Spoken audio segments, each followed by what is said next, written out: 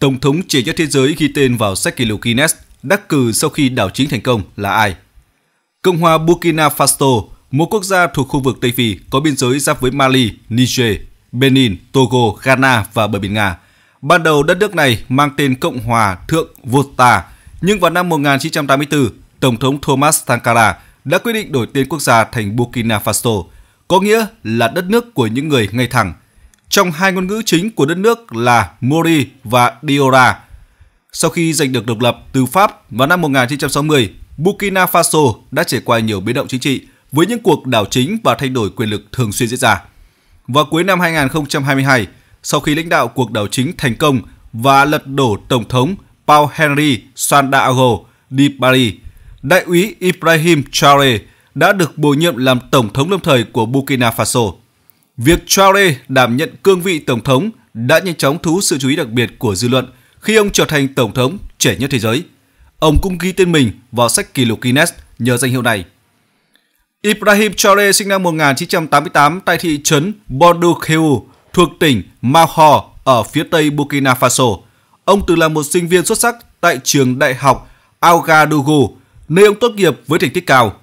Sau khi hoàn thành chương trình đại học, Traore quyết định gia nhập quân đội vào năm 2009 với tài năng và tinh thần phục vụ. Ông nhanh chóng thăng tiến trong quân đội và vào năm 2014, ông đã trở thành trung úy và tham gia phái bộ gìn giữ hòa bình của Liên Hợp Quốc tại Mali.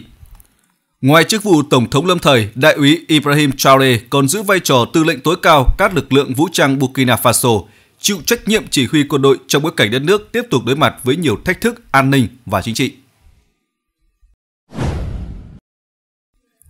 Mỹ áp đặt các lệnh trừng phạt mới lên Iran liên quan đến cáo buộc Tehran chuyển giao tên lửa đạn đạo cho Nga để sử dụng trong cuộc xung đột tại Ukraine. Theo báo cáo từ đài CNN ngày 10 tháng 9, Ngoại trưởng Mỹ Antony Blinken lên tiếng chỉ trích động thái này của Iran. Gọi đó là một sự leo thang đáng kể theo các cáo buộc của Washington và các đồng minh phương Tây. Ông Blinken cho rằng hành động này sẽ đẩy cuộc xung đột lên một tầm nguy hiểm mới và yêu cầu Iran chịu trách nhiệm cho việc cung cấp vũ khí cho Moscow. Các đối tượng bị ảnh hưởng bởi lệnh trừng phạt bao gồm Iran Air, hãng hàng không quốc gia Iran, cùng nhiều công ty và quan chức từ Iran và Nga có liên quan đến hoạt động chuyển giao vũ khí này. Chính quyền Mỹ cáo buộc rằng Iran đã sử dụng Iran Air thay vì quân đoàn vệ binh cách mạng Hồi giáo Iran để thực hiện các giao dịch với Nga về các thiết bị nhạy cảm có nguồn gốc từ phương Tây và vận chuyển vũ khí bất hợp pháp, bao gồm cả máy bay không người lái và tên lửa đạn đạo cho quân đội Nga. Mỹ cũng cáo buộc Iran đang huấn luyện các quân nhân Nga sử dụng tên lửa đạn đạo tầm ngắn Fast 360 và dự đoán rằng Moscow sẽ sớm sử dụng loại vũ khí này ở Ukraine. Ông Blinken nhấn mạnh, các tên lửa của Iran có thể tăng cường khả năng tấn công của Nga, đặc biệt trong việc nhắm vào các mục tiêu gần chiến tuyến, trong khi kho vũ khí của Nga có thể được sử dụng để tấn công các mục tiêu lớn hơn và chiến lược. Cùng lúc đó, các nước trong nhóm E3 gồm Anh, Pháp và Đức cũng đã đưa ra tuyên bố chung chỉ trích mạnh mẽ hành động của Iran – coi đó là một mối đe dọa nghiêm trọng đến an ninh châu Âu. Nhóm này tuyên bố sẽ áp đặt thêm các lệnh trừng phạt mới nhắm vào Iran và đang xem xét việc hủy bỏ các thỏa thuận bay của Iran Air tới châu Âu để gia tăng áp lực lên Tehran. Tuy nhiên Iran đã bác bỏ tất cả các cáo buộc trên. Người phát ngôn Bộ Ngoại giao Iran Nasser Kanami cho rằng những cáo buộc này là hoàn toàn vô căn cứ và sai sự thật, đồng thời gọi các lệnh trừng phạt là sự leo thang thù địch từ phương Tây. Kanani nhấn mạnh rằng Iran sẽ có những biện pháp đáp trả tương xứng nhằm bảo vệ quyền lợi quốc gia của mình và không chấp nhận những động thái gây hấn từ phía Mỹ và các đồng minh. Quân đội Israel tấn công đoàn xe tiêm vaccine bại liệt của Liên Hợp Quốc ở Gaza. Người phát ngôn của Liên Hợp Quốc Stephen Dujarric cho biết một đoàn xe của Liên Hợp Quốc đang trên đường thực hiện chiến dịch tiêm vaccine bại liệt cho hàng nghìn trẻ em Palestine đã bị chặn lại tại một trạm kiểm soát giữa miền Trung và miền Bắc Gaza. Lý do là binh lính Israel muốn thẩm vấn hai nhân viên người Palestine. Ông Dujorik cho biết, tình hình nhanh chóng leo thang và binh lính Israel đã chĩa vũ khí trực tiếp vào các nhân viên Liên Hợp Quốc trong đoàn xe. Khi chiến dịch tiêm vaccine bắt đầu ở miền Bắc Gaza vào thứ Ba, ông Dujorik nói rằng sự cố hôm thứ Hai là ví dụ mới nhất về những nguy hiểm và trở ngại mà nhân viên nhân đạo tại Gaza phải đối mặt. Ông cho biết lực lượng Israel đã bao vây đoàn xe và nổ súng, sau đó các xe tăng và xe ủi đất của quân đội phòng vệ Israel đã đâm vào đoàn xe từ cả phía trước và phía sau, khiến nhân viên Liên Hợp Quốc bị mắc kẹt bên trong. Một xe ủi đất đã đổ các mảnh vỡ lên xe đầu tiên trong đoàn, trong khi binh lính Israel đe dọa các nhân viên không cho họ ra khỏi xe một cách an toàn, ông Duzalik cho biết thêm. Khi được yêu cầu bình luận về sự việc, quân đội Israel cho biết đoàn xe bị chặn lại sau khi có thông tin tình báo về sự hiện diện của một số nghi phạm người Palestine và cần thẩm vấn. Quân đội Israel cũng nhấn mạnh rằng đoàn xe này được sử dụng để luân chuyển nhân sự của Liên Hợp Quốc, không phải là đoàn xe chở vaccine. Sau khi thẩm vấn các nghi phạm, đoàn xe đã được phép quay trở lại phía nam giải Gaza, thông cáo cho biết. Ông Dujarik cho biết các binh lính Israel đã thẩm vấn hai nhân viên của Liên Hợp Quốc và đoàn xe đã bị giữ lại tại trạm kiểm soát trong 7 tiếng rưỡi trước khi trở về căn cứ. Ông lên án hành vi của lực lượng Israel đã đe dọa tính mạng của các nhân viên. Vụ việc này xảy ra chỉ hai tuần sau khi chương trình lương thực thế giới của Liên Hợp Quốc tạm thời đình chỉ hoạt động tại Gaza, do một chiếc xe của chương trình bị trúng ít nhất 10 viên đạn khi đến gần một trạm kiểm soát quân sự của Israel.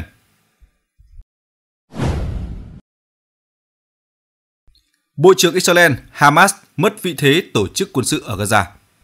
Bộ trưởng Quốc phòng Israel Joab Gallant đã tuyên bố rằng tổ chức Hamas đã mất phần lớn năng lực và cơ cấu tổ chức quân sự sau gần một năm xung đột kéo dài.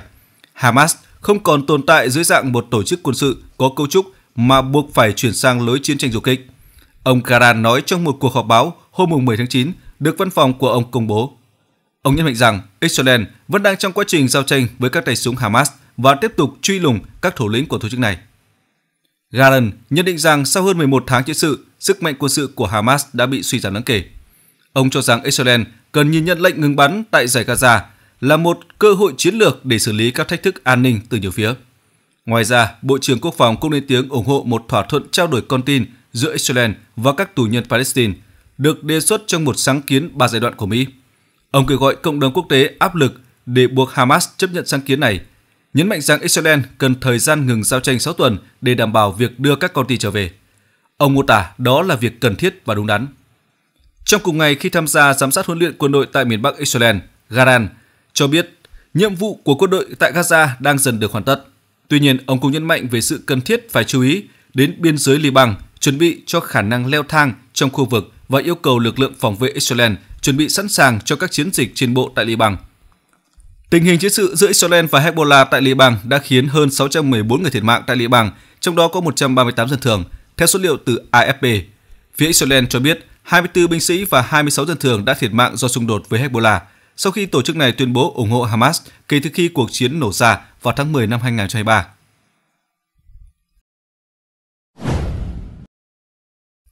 Canada tuyên bố ngừng cung cấp vũ khí cho Israel.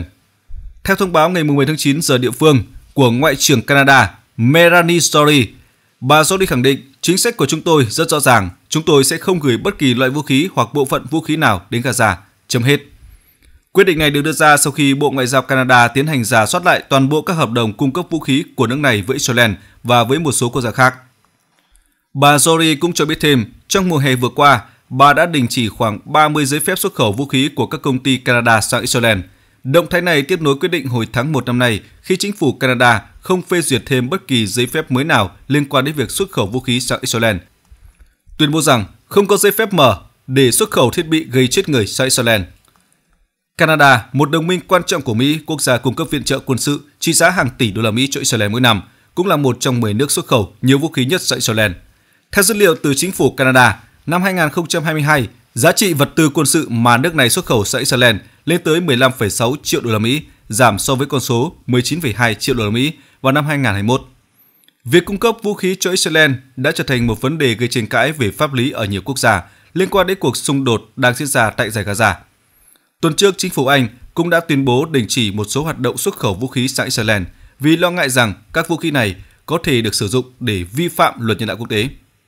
Tại Canada, làn sóng biểu tình ủng hộ Palestine và phản đối Israel đã diễn ra khắp nơi trong thời gian gần đây.